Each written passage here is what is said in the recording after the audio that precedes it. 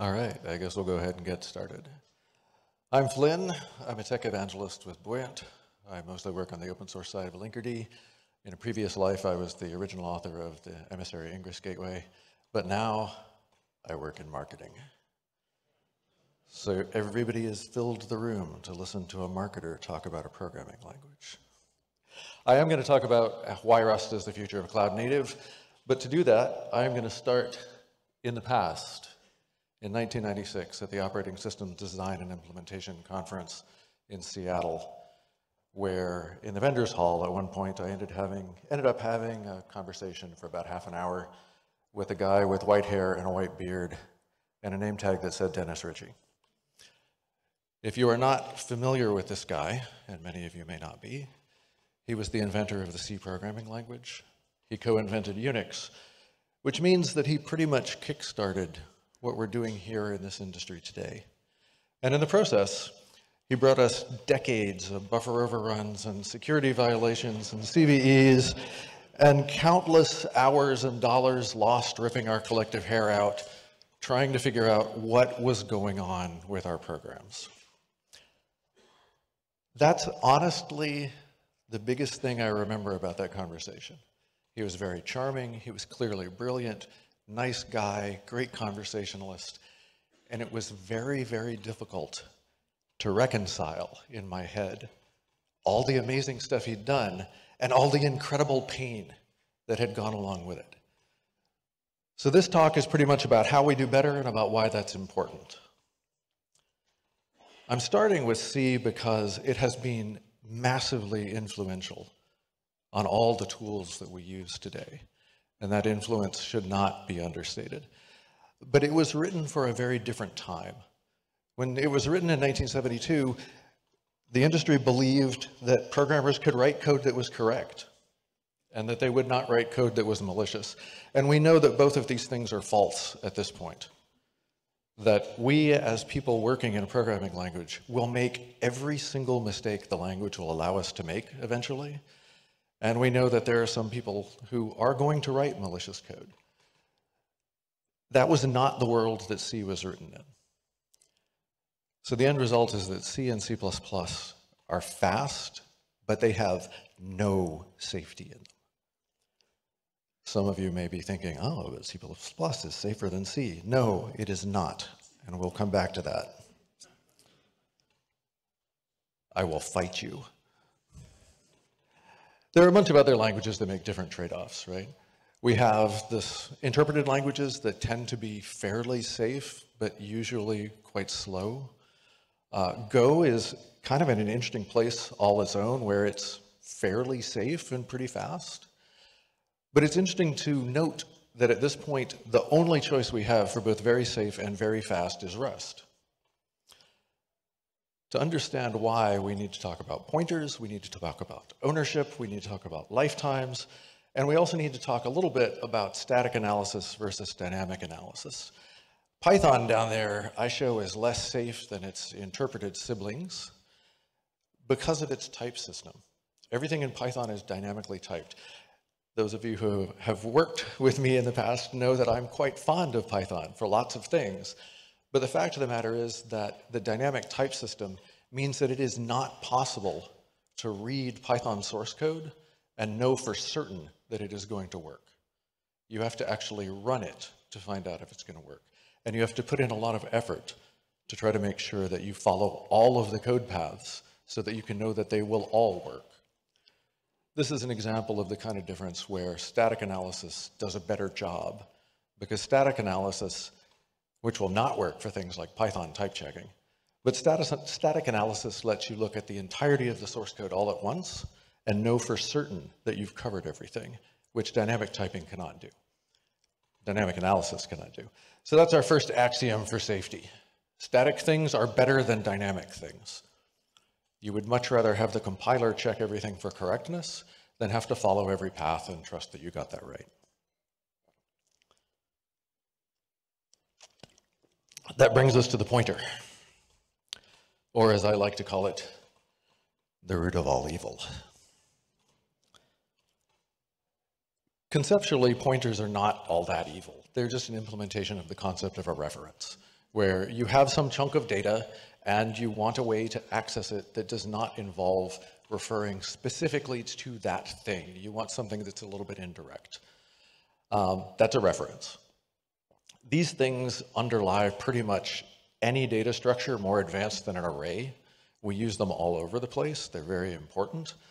Uh, pointers are the simplest implementation of references where you go, oh, hey, my datum foo lives at this particular address, and you take that address, like the numerical value, and you say, great, that's my pointer, that's how I refer to foo. This is very simple, it's very powerful, and it is extremely dangerous.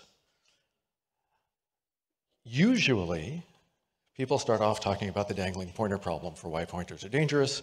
Suppose we have to move foo for some reason, it changes its address, when we move it, but the pointer didn't get updated, and then when you try to follow the pointer, bad things happen. This is the least bad thing that can happen with pointers. Uh, there's actually such a thing as a dangling reference, not involving pointers at all. But, you know, this is a thing that happens a lot. The worst thing that happens with pointers immediately, you run across with the languages like C and C++ where we can do pointer arithmetic, where we get to alter the number, the numeric value of the pointer. The whole concept behind pointer arithmetic is that we take advantage of the fact that memory is laid out in this linear way. And then if we have a pointer pointing to one of these values, then you figure, oh, we should just be able to go and add to that pointer itself, not the value it points to, add to the pointer, and then it will go point to something different. And you can do a bunch of things very quickly with this. And uh, it has a couple of huge problems. The first one is that your program can scribble all over memory. As soon as you get to set the value of the address in the pointer, everything the runtime can do to protect you from yourself goes out the window. Because this is an intentional thing that was added to the language, you are supposed to be able to go and modify things at arbitrary addresses in memory. And that means that you can make mistakes and stomp on stack frames and memory management metadata and other executable code sometimes, and all this horrible stuff. A slightly more subtle thing is also, as soon as you can do this, the type system goes out the window as well. Because even if our datum there is an integer and we have a pointer that is typed as an integer pointer, there's nothing preventing us from creating another pointer that has the same numeric value but a different type. And then when you go through that second pointer, you've just changed the type of your datum as far as the runtime is concerned. Again, this is not something it can protect against because this is designed into the language. This is also why I say that C++ is not any safer than C.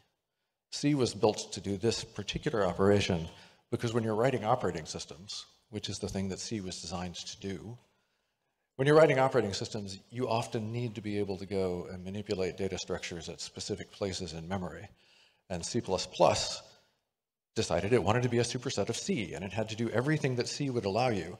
So even though C++ has smart pointers and stuff, the language, by design, allows you to go and always you use raw pointers everywhere so you can bypass any safety thing that C++ does. And the language has to allow you to do this.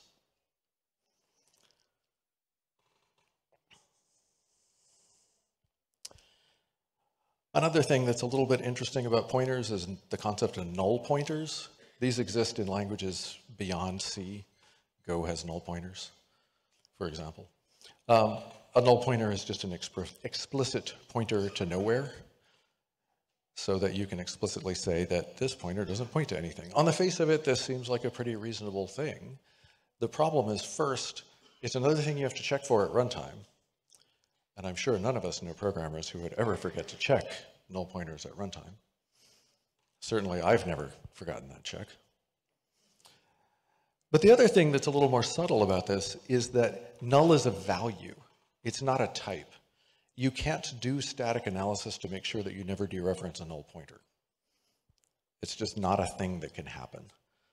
Um, so it is much better to use a different system so that you can do static checking for it. I am realizing right now that I forgot to mention a particular feature in Rust that makes this particular thing go away. So I'll try to remember to mention that when I get to it. Sorry, I forgot to put it in the slides. Um, so yeah, since you can't do static checking for null, you have to actually run the program and find out if you hit any null pointer errors.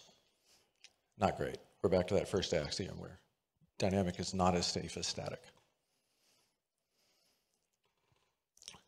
Another interesting bit is that null gets worse in languages like C and C++ where you can only return one value at a time.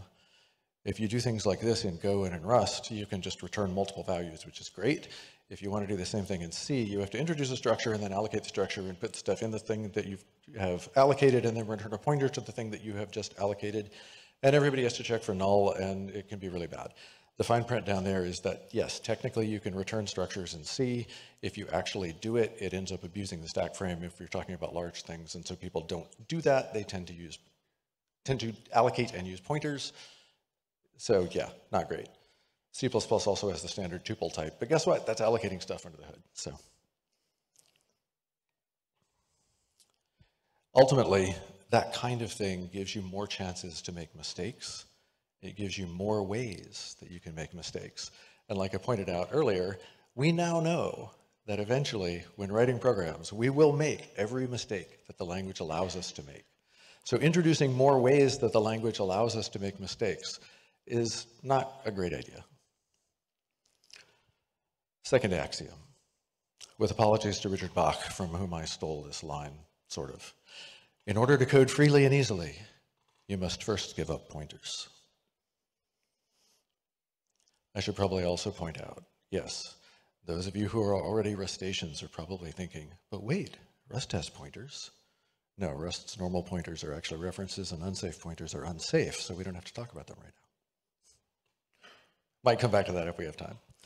Let's talk a little bit about ownership. Uh, ownership is a little bit of an abstract sort of thing. It refers to who is, it really refers to who is responsible for dealing with a particular piece of data. And in languages where you have to do dynamic, or have to do manual memory management, excuse me, say that three times fast, then ownership is often described as who has to free the thing when you're done with it. A better way to look at it is who gets to decide you're done with it. And this is implicit in almost all of the languages that we use. Uh, I don't think I know of a language other than Rust that talks explicitly about ownership. Objective-C kind of kind of weasels in on it and you know stuff like that. Um, some of the automatic reference check, offer, automatic reference counting stuff touches on it, but I don't know of a language other than Rust that explicitly talks about ownership and lifetimes. Ownership is explicit in Rust. The compiler checks it. The compiler makes certain that you have not gotten it wrong.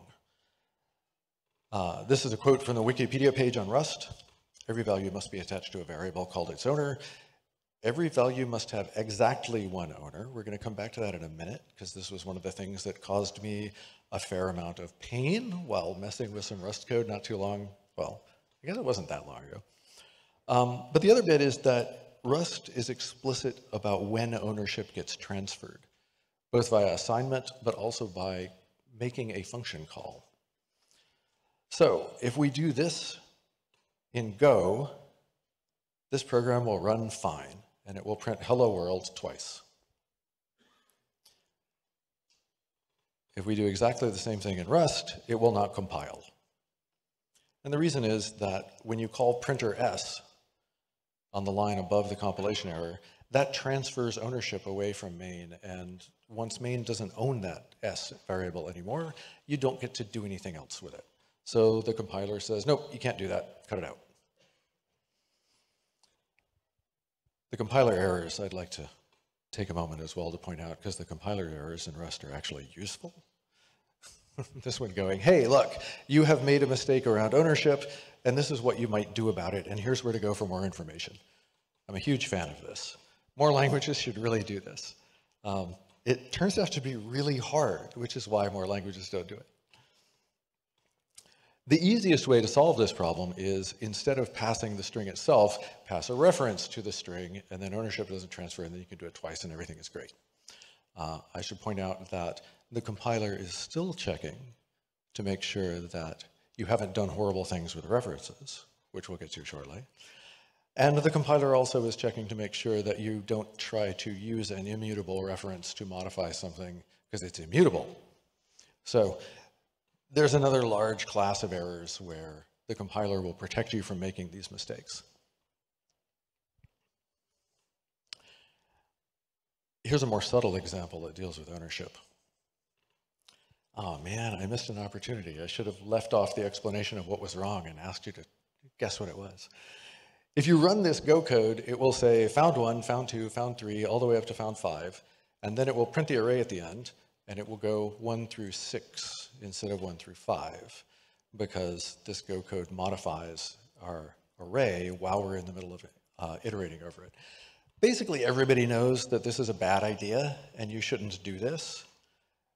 But even though it's a bad idea and you shouldn't do it, the Go compiler will not protect you from that error because it can't. The Rust compiler will. Uh, the Rust compiler on that line that says error will come back and say, no, calling numbers.push here requires a mutable reference, and the for loop already grabbed an immutable reference, and you don't get to do those two things at the same time. So you have to go through and restructure this code instead of just falling quietly into this trap. And again, I want to emphasize, this is a compile time check. If you manage to somehow have a mutable reference in one function and then try to use it as an immutable reference in another function, then the compiler will still find it. Uh, it actually turns out to be fairly difficult to write a concise example of the compiler doing that across multiple functions, so I didn't do it. Third axiom, which is a thing that Rust kind of does a lot of, is requiring you to be explicit. Making things explicit is harder up front. You have to go to more work. It will cost you more effort, but then it will pay dividends for the rest of your life. And possibly more importantly, it will pay dividends for the rest of your code's life. It would be nice if we outlived all our code, but uh, you know, who knows? All right, let's talk a little bit about lifetimes.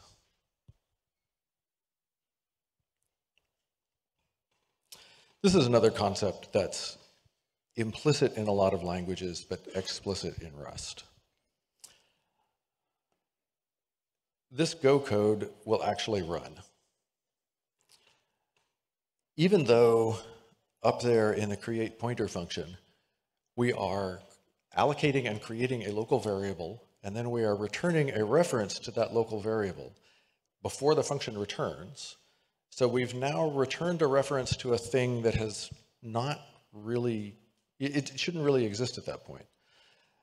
But that works okay in Go because Go has a garbage collector, and the garbage collector will recognize that there's an outstanding reference to our local variable v, and so the garbage collector will keep it around just in case you're still using that reference.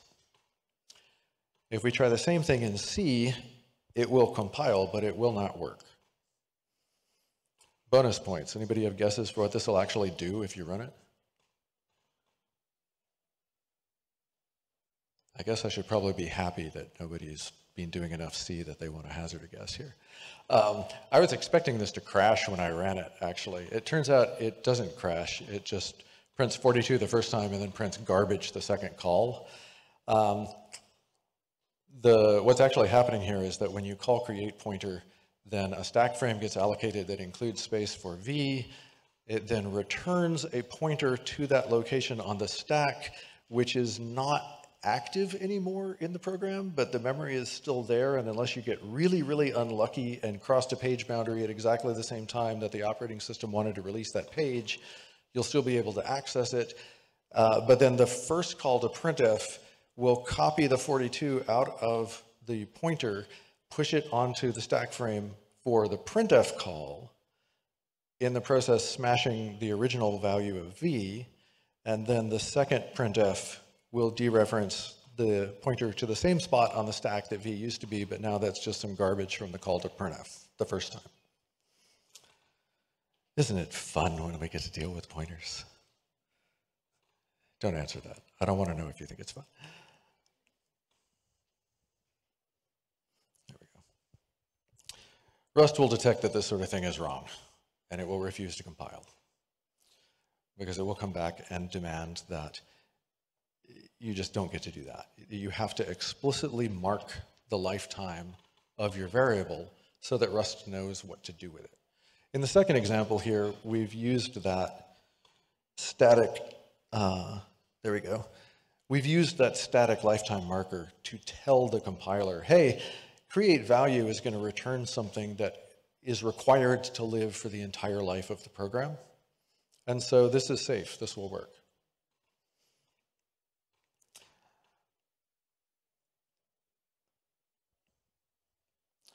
Here's a much more subtle example of a lifetime bug. This one from C++. Um, when I run this on my machine, it compiles, but it does not say hello world, it just says hello. Well, okay, it says hello, comma. Again, anybody want to raise a hand, hazard a guess for what's actually going on here?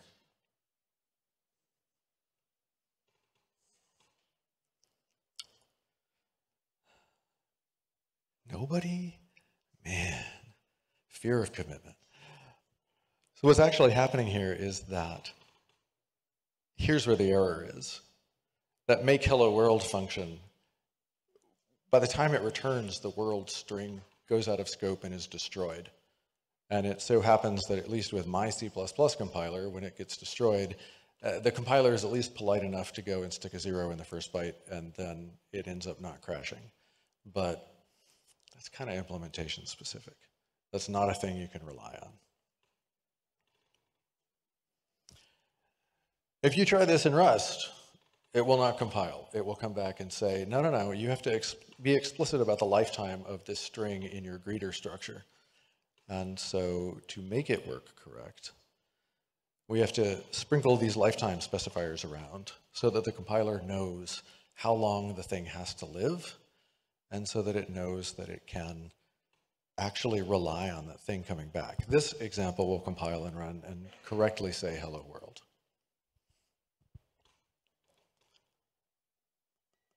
This is probably as good a time as any to mention the thing in Rust that I forgot uh, to put on the slide, which is instead of null pointers, Rust has a concept called an option that can have either a value that is specified as some with a real value or none.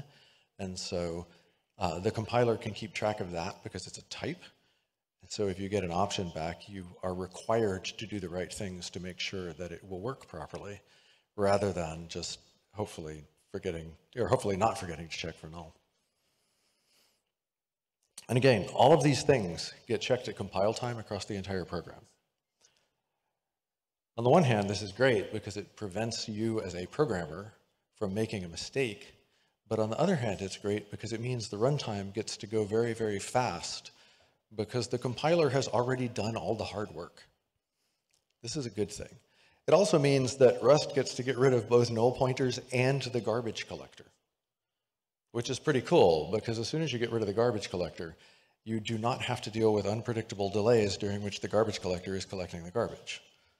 It gets to just run quickly and predictably.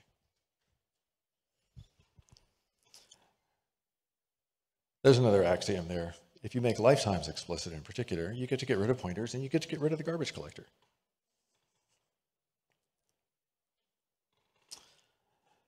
So all of this is why I stick Rust alone by itself up in the very fast and very safe category, where we don't have null pointers, we don't have manual memory management, we don't have dangling pointers, we don't have garbage collector unpredictability, we don't have data races. I didn't really talk about that very much, but the Rust compiler can detect when you are trying to do things like modify the same piece of data from multiple asynchronous things at the same time, and then refuse to let you do that, which is amazing. There is absolutely a learning curve for all this, though. All those things that I was talking about that you have to be explicit about in Rust, that you don't have to be explicit about in other languages, eh, yeah, you have to learn how to do that. It takes some doing. It's a little weird. Actually, it's a lot weird in the beginning, but you know, it's okay. The learning curve is worth it. In particular, for the cloud native world, at this point, I think it's fair to say that the ecosystem is ready for the things that we're doing with cloud native. Um, there are, I called these out as crates, you know, Rust packages that get used a lot in the cloud native world that are really, really helpful. Tokio for asynchronous, Hyper. Somebody should donate a logo to the Hyper project, by the way. Um, Hyper is a very fast and correct HTTP library. There are other things built on top of it that are probably worth looking into if you want a very user-friendly HTTP library, but all of these work really nicely together to give you really you know, pretty elegant asynchronous network protocol and Kubernetes stuff. kube-rs is uh, the main set of Kubernetes bindings for Rust. Kubert is a thing that uh, one of the Linkerd maintainers wrote that sort of a more opinionated controller runtime based on, based on kube-rs. So Kubert is the thing that the Linkerd Rust controllers are based on. All of these things have made dramatic leaps and bounds since we started at Linkerd in 2018. Uh, our first Rust controller didn't come along until 2022 with you know, more support for Kubernetes bindings and such. Uh, anybody starting today with Rust, congratulations. You get to benefit from our suffering at Buoyant. Enjoy, because man, there was a lot of suffering back then. Uh, earlier today, my colleague Matei actually gave a talk about the specifics of writing Kubernetes controllers in Rust. If you were not able to make that one, I would encourage you to go and check it out on video if you're interested in this sort of thing. If you're in this room, you're probably interested in this sort of thing. So, finally, one more thing to wrap all this up. Backing up again to the mid 90s, I was at, I think it was the Usenix Security Conference. I ran across a talk by a guy named Marcus Ranum who did security for whitehouse.gov in the beginning. And he pointed out that in the 1950s in the United States, we had cars that could do 100 miles per hour, 160 kilometers per hour. But we didn't mandate seatbelts until the 1980s, 30 years later. Which means that there was an entire generation of human beings who lived just believing that, well, yeah, you get into an accident and you die. That's just the way it goes. That was accepted. That was a normal thing. We've been writing unsafe code with unsafe tools now for more than 50 years. C came out in 1972. That's a generation and a half of humans. I would be willing to bet that it spans more than the career of everyone in this room. And for all that time, it's just been accepted that, yeah, eventually we make mistakes and get horrible security problems, and that's just the way of the world. This is not okay. We do not write software that does nothing. We don't write software just for the sake of writing software. We have a purpose in mind for it. A lot of the infrastructure that we write in this world is handling things that are very critical. Picking on Linkerd for a minute, Linkerd gets used in emergency dispatch call centers in the US and probably elsewhere. We get used in healthcare organizations where patient data is wrangling around and at risk. We get used in financial organizations where your money is at risk. All of the stuff that we're doing here, people rely on it. It has to be safe, it has to be reliable, it has to be fast, and that order is deliberate, safety first. no matter what we do, writing safe software is really hard. So we should be using the tools that make it the most easy it can be, even though that's not going to be very easy. There's no point in making it harder than it has to be. In other words, if you want to remember just one thing from this talk, it's that it's time to put on your seatbelt. Throw away this unsafe crap and write in Rust. Thank you.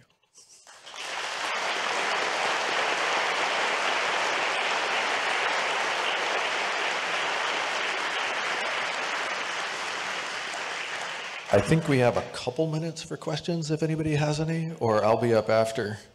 Um, do we have a mic for questions in the audience?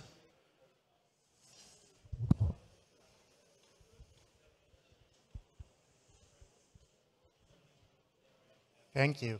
So I really enjoyed this uh, marketing for Rust. Uh, I, it, it, was really fair to say that there is a fairly high um, learning curve. Um, as a Go developer who has now spent quite some time with Rust, there's another thing. What do you think about compile time? So the time it needs to compile your Rust program.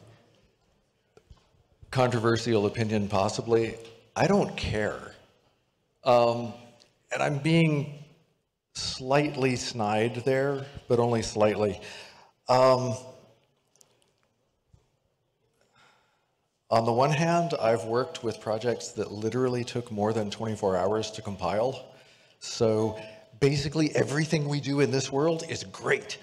Um, but what I also find is that Rust seems to do a pretty good job, for me personally, at least, of not rebuilding the world and re-downloading the internet and things like that. So when I'm doing development in Rust and trying to iterate fairly quickly, it seems to work out okay. And if I'm talking about I'm going to go and release something and I'm running it in CI, Eh, eh, whatever, I don't really care all that much. So I guess the short answer is that is that in my experience, it has been good enough. Not perfect, but good enough. Does that answer the question? Sure. Yeah. When Go does not have to download the internet, I think Go is faster probably, but it's not enough to make a big difference for me. Also, Go downloads the internet a lot. It's really annoying. I think there was somebody over here. Yeah. Yeah. Hi.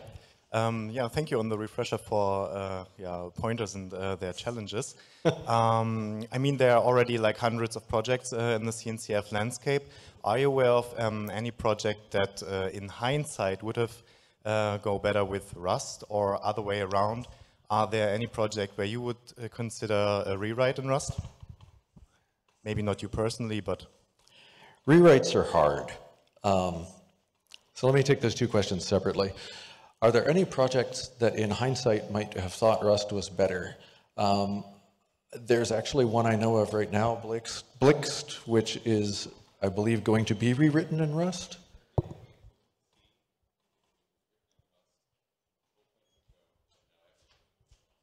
So what Shane says is that they originally wrote the data plane in C, oh dear God, um, and then rewrote that in Rust, and then had the control plane in Go, and now the whole thing is going to be in Rust. Um, I congratulations, Shane. That's literally the first cloud native infrastructure project I've heard of using C. That's Wow. Uh, Linkerd also, Linkerd version one was written in Scala for the most part, and then Linkerd version two, the data plane's in Rust, the control plane had Go, and the control plane is making its way to Rust as well. Um, Linkerd did this by taking pieces that needed to be created new and doing them in Rust, rather than going back and rewriting the world all the time. So the second part of that would be rewrites. Rewrites are hard. Rewrites are expensive. Rewrites mostly are a question of trading an existing known set of bugs for a different set of bugs that might be unknown. And so I would tend to caution people about rewrites in general, but you know, yeah, maybe there's a way you can start doing new work in Rust and uh, do the migration that way. Anyone else?